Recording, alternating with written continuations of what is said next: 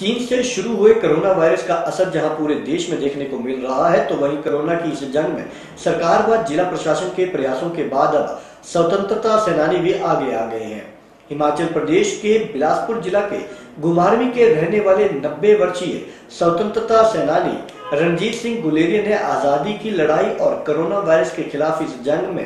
अंतर बताते हुए जहाँ आज़ादी की लड़ाई में अंग्रेज़ों के खिलाफ देशभक्तों द्वारा बाहर निकलने की बात कही तो वहीं कोरोना के खिलाफ जीत के लिए घरों में रहने और सरकार व जिला प्रशासन के आदेशों का पालन करने की अपील की। गुलेरिया ने कहा कि आज देश का दुश्मन अदृश्य है और ऐसे में उस पर काबू पाने के लिए लोगों को घरों में ही रहना सुरक्षित होगा। स्वतंत्रता सेनानी रणजीत सिंह गुलेरिया ने कहा कि जिस तरह देश की आज़ादी के लिए सभी धर्मों के लोगों ने एकजुटता का संदेश देते हुए हिंदुस्तान को आज़ाद करवाया था तो वहीं आज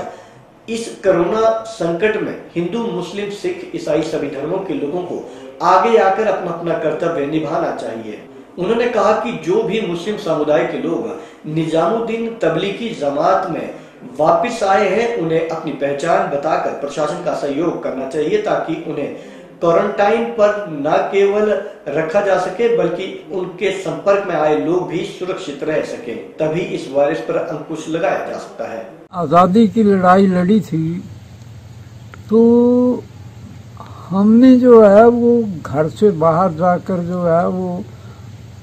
लोगों को इकट्ठा करके जो है वो आज़ादी की लड़ाई लड़ी। लेकिन आज जो है हमें ये जो वायरस आज चला हुआ है,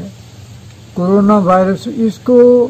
ख़त्म करने के लिए हमें अपने घर में ही रहना पड़ेगा, क्योंकि इस वायरस का कोई पता नहीं है कि भी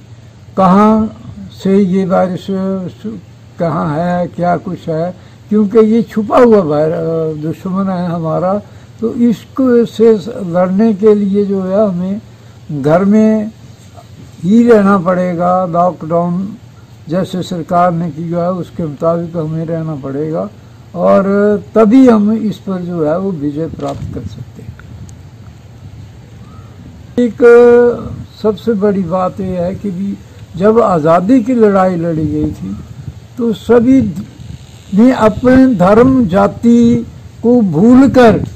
जो है वो लड़ाई लड़ी। उसमें हिंदू भी शामिल था, मुसलमान भी शामिल था, सिख भी शामिल था और ईसाई भी शामिल था। और आज भी यही ज़रूरत है देश के अंदर कि भी हम सब मिलकर जो है हिंदू, मुसलमान, सिख, ईसाई जो भी है, जो भी यहाँ जहाँ रह रहे हैं, जिस ढंग से,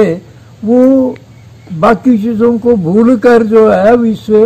वायरस के साथ लड़ने के लिए तैयार रहें और अपने घर के अंदर रहें लॉकडाउन जो सरकार ने रखा हुआ है, उसके मुताबिक रहें